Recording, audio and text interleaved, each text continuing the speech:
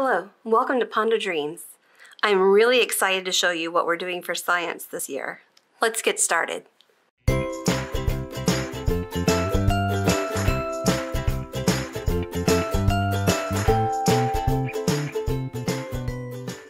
So my kids are going to be in fourth and fifth grade this year, and I was trying to figure out what are we doing for science. I had everything kind of figured out, but science was elusive.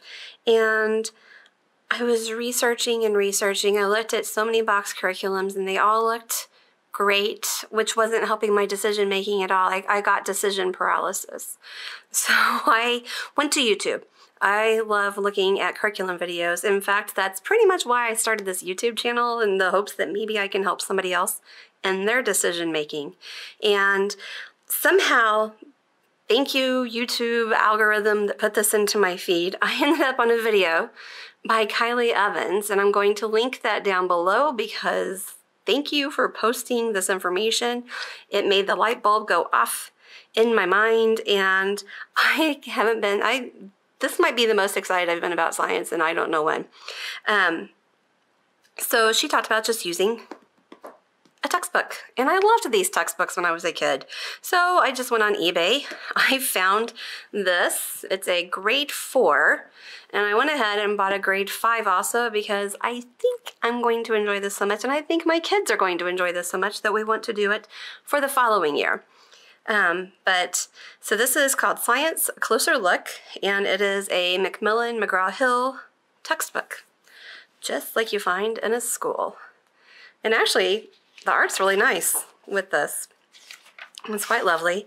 Um, it's a 2008. I think I paid $20 for this, and the prices range. Um, she had said she found hers for 10. I found mine for 20. I saw listings for much higher.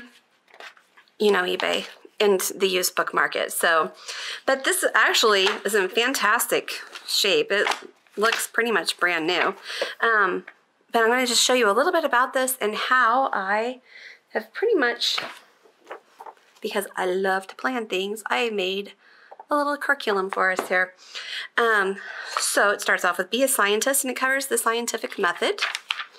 And I look forward to reading all of this. It's broken up into three sections. We have life science, which has unit A, which is living things, and then within that unit, it's broken up into two chapters Kingdoms of Life, which has four lessons and then a chapter review. And then chapter two is the Animal Kingdom, which has four lessons and then a review. And at the end of each unit, there is a Careers in Science section. So the unit B under Life Science is Ecosystems. And then we have chapter three is Exploring Ecosystems, three lessons with a chapter review. And then chapter four under that is Surviving in Ecosystems, three lessons, a chapter review, and more careers. Then we move on to Earth Science. We have Unit C, Earth and its Resources. And there's Chapter 5, Shaping Earth, with four lessons. Chapter 6, Saving Earth's Resources, with five lessons. And then we have a review each time. Unit D, Weather and Space. We have Chapter 7 covers weather and climate. We have four lessons and then a review. Chapter 8 goes to the solar system and beyond, four lessons and a review and careers. And then our last section is physical science. Unit E is matter. Chapter 9 covers properties of matter, three lessons in a review. Chapter 10 is matter and its changes, three lessons, review, and careers. And then the last one is Unit F, forces and energy. We have Chapter 11 covers forces. It is four lessons with a review. Chapter 12 is energy, five lessons, review, and careers. This will list out, afterward we go back to the sections, life science, earth science, physical science, it has activities and investigations for the table of contents. But this is where I was trying to figure out how am I going to do this? What, what is going to be our activity? My kids love to do labs. There's labs and experiments throughout this entire book the very first thing explore what are living things made out of and it talked about having a hand lens so i went on to amazon and i found this little carson led you can just set it down on a surface and look through lens. Here, I'll give it to you. Hopefully we can see it better. Pocket Micro, Micro 20 to 16 time LED lighted zoom microscope by Carson. These were very inexpensive, runs on a AA battery. I got one for each of my kids. And the first experiment is just examining onions underneath. But not only do we just kick off with that, everyone starts, every lesson starts off with an explore. Every lesson also has a quick lab listed, lesson reviews, then we have focus on skills. So I knew, I just kind of wanted to go through and figure out what are we doing for each one of these? And there are some things that um, require weighing. So I also, because I just am going to turn our house into a lab apparently, um, went on and got this precision school balance with weights. And it's actually kind of cool because right down here, you have all your different weights so whatever you're weighing, you can put on one side.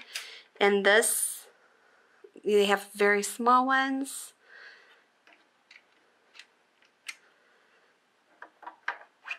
And then you have your largest weight.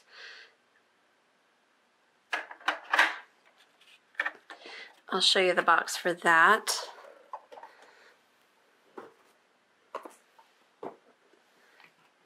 It is this Learning Resources Precision School Balance for 8 plus, but I mean, that is arbitrary.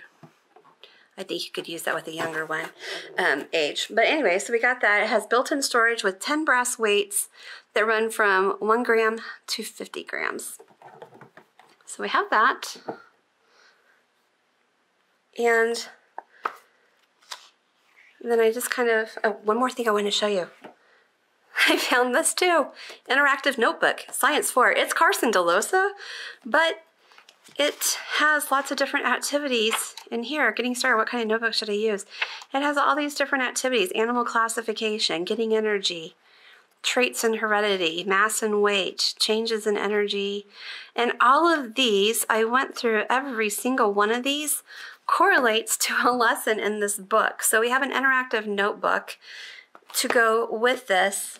And so I went to Excel and I just kind of set up a lesson plan. I went through the entire book and went chapter to chapter and I picked out which ones I want to do. So for lesson one, we're going to do the Explorer with the onion slide activity. And I came up with a video option on YouTube if you did not, because at the time we did not have these. Um, but I ended up buying them. When I started making this though, I found the onion slide activity as, as a video option. So this is just kind of a breakout and then I have on the ones where there was for how seeds reproduce there happens to be a flower parts and pollination out of the interactive notebook that goes well with that lesson so I just kind of broke that out for each one and I'm very excited I think we're probably going to be doing at least one, probably more like two uh, experiments or labs each week.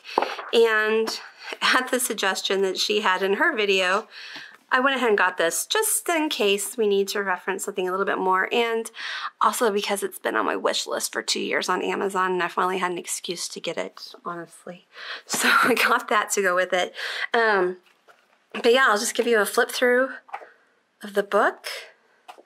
Lots of fantastic information. As you can see, there's just really packed with experiments throughout and you don't need any other sources. There are others out there if you want to have the teacher's manuals or if you want to have the workbooks, but you really, I went through this, you honestly do not have to get that. Um, everything that you need is in here and at the end of let me show you this. Oops, pardon me. At the end of each chapter, there is a review. So we're going to be doing this. Um, it has vocabulary, review, fill in here, skills and concepts. Um, so there's just a lot of different things. So we are going to do these at the end of each of the chapter reviews. There's not one for each lesson, just for the the chapters, but there are lesson reviews that you can do together. My plan for the lesson review is to do these orally with the kids, and then for the chapter reviews to have them write that into their notebooks, which is where they're going to um, put all of their um, pieces from in here. Um, I'm going to have them just have an, an interactive lesson or review notebook and just put all of that into one um, spiral notebook. So anyway, I was so excited to have this idea presented and my kids have been hearing me talk for the better part of a month about how excited I am about science this year. So um, we're going to be um, growing butterflies as part of that. There's just all kinds of great ideas and activities in here. And none of these labs really call for anything expensive. Actually, even just getting these two handheld microscopes and the balance did not cost all that much. So that is a look at what we're doing. We have the textbook that I found on eBay, my teacher guide that I made for myself, the Carson Dellosa interactive notebook for the same corresponding grade. This is a reference just in case. The handheld microscope and our balance scales. And that is what we're doing this year for science. I will make an update video and let you know how this turned out and if it is as amazing as I am anticipating.